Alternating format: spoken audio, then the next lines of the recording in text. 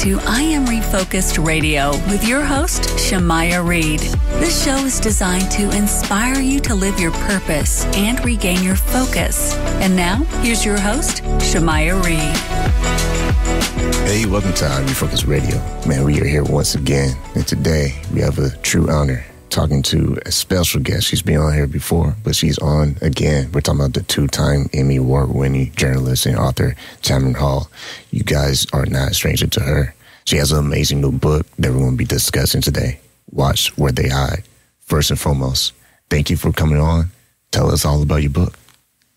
It's good to be back on with you. I am so excited. The second book in the Jordan Manning series is out now. Jordan is back on the case, and this time um, she is investigating the disappearance of a mother of two. And we find Jordan risking her own safety, risking her job to get to the bottom. I like to say, you know, Jordan is is a character where she doesn't want to be just a witness. She's a participant in finding justice. She's inspired by my life. This case, like with the first book, inspired by real cases that I covered as a reporter on Deadline Crime for over a decade. But Jordan is her own beast. You know, she's her own animal and she is ready um, to to continue and, and, pounce, if you will, uh, on those who stand in the way of justice. And speaking of your character in the book, Jordan Manning, I mean, she is really putting on the superhero cape when you look at how you develop her character and all the twists and turns of her trying to find this justice, how did you yeah. kind of pinpoint that? You know, I, I as I said, I, I, first started with cases that I actually covered. And so that gave me my baseline and it gave Jordan and it gives Jordan a level of credibility because these are things rooms and places and spaces that I've occupied authentically that, you know, it wasn't, Hey, here's a script and what was it like? You know, I was there. And so I'm able to give Jordan that credibility and what she's able through fiction to give the reader is an opportunity to go along with her to find the pieces, the Easter egg, all of these things that, that folks look for in these true thriller the books and series. But I also wanted her to be honest with you to be a young 30 something woman looking for her place in, in life, right? She, she's really good at what she does as a reporter, but she's really bad at finding love. She's really bad right now deciding what her priorities are. She loves her job, but she's, you know, on in this romantic cycle with this, this young man who's interested in her, but also her friend circles. You know, she's not on this island alone. While it's the Jordan Manning series, we get to know her family, her friends, and even her allies who help her solve these crimes. I wanted people to almost have this binge watch experience, but in this case, binge reading Jordan and wanting more from her and, and going along with her to solve this crime that involved infidelity and lies and deception. And through Jordan, we're digging in and uncovering all of it as you are developing the story within the novel, she is on the pressure with herself, trying to, to prove herself as a professional, a black yeah. professional yeah. at that. As yeah. she reaches all these different points and twists and turns in the storyline, with her trying to find more details with Shelly reaching out mm-hmm. from her and, and, get to the bottom of this situation with Marla. Mm-hmm.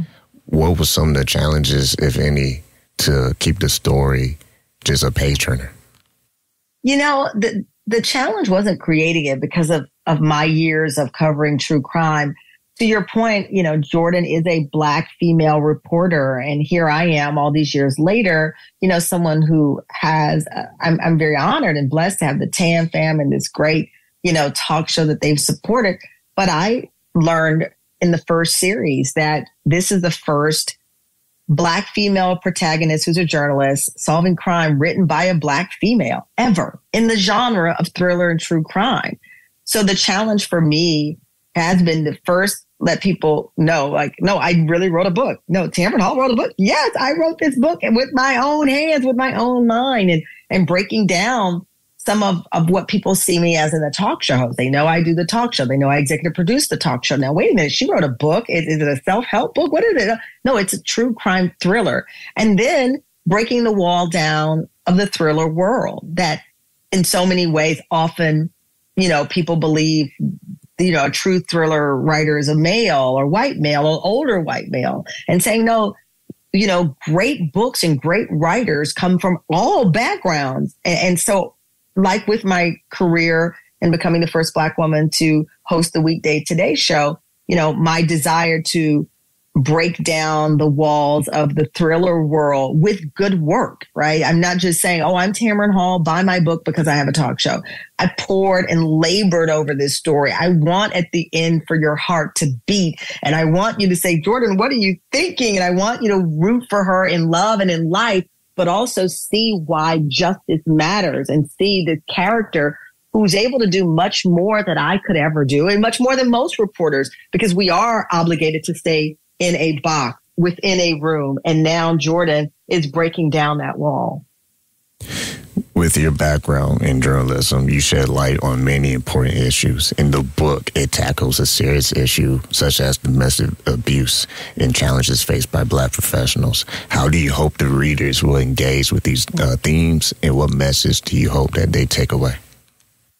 Well, I hope that, you know, again, like with the world of crime, Jordan gives you a glimpse into what it's like to be a black journalist. You know, I, I, was telling a friend, even with my talk show, when I first launched the show, there were so many publicists and, and, and, and, you know, managers and folks, even though we had the highest debut tied with Kelly Clarkson um, in daytime talk shows in 14 years people would often, you know, if there was an A list black actor or actress, they would instantly send them to Kelly Clarkson and then send us the lesser known person.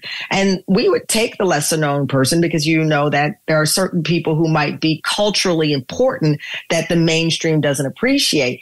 But we would also say, wait a minute, so if the person is a lesser known black talent, they come to us, but your A-list black talent goes to another show and then your A-list white talent or A-list Latino go to there. And we're both doing the same number because I'm black. My show is black. That makes no sense. I'm unapologetic of who I am. I am a black Southern woman, but I'm a talk show host and I have to put on a competitive show. So we would call out, you know, publicists and agencies who would only send us their lesser known black talent. And I say that again very cautiously because we know, I know that there are people who are culturally relevant that the mainstream would not get. And we rated great with those folks. But it was important that we weren't marginalized. I'm a black woman who hosts a talk show, not a black woman with a black talk show. We want everyone to watch our show. I had a conversation with Kevin Hart about it. And that does not mean I'm in any way diminishing the specialness, the special thought, if you will, that my personal life journey as a Black woman brings to the table. Once again, we're talking to our special guest for today. You can get her book, Miss Tamron Hall herself. You can get the book. It is March 12th is when you can get it. We have all the links that will guide you to get the book tomorrow in our show notes. First and foremost, with your busy schedule, very high demanding schedule, how do you find the time to prioritize your writing and yeah. making that a big hit? Yeah. You know, I, I, my dad was in the military, and um, over the years, he always taught me um, just the importance of really organizing yourself. And, you know, we say don't put a 20 on a 10. And what I mean by that is I save room for the things that matter and the things that don't. I don't let them occupy space in my heart, in my mind, in my direction. I don't, you know, even when I, um, you know, left the Today Show, people would say, yeah, aren't you so mad? You should speak out. You should say something. And I said, you know, if I focus on the mad, that weighs my wings down. I need to be able to fly. And so for me, if I focus on the things that don't matter or the inconsequential, that, that keeps me from doing the next chapters that I want in my life. And this next chapter happens to be Jordan Manning and Watch Where They Hide and all of those great things I'm able to pour into her. So it really is just about saying, what do I want from this journey?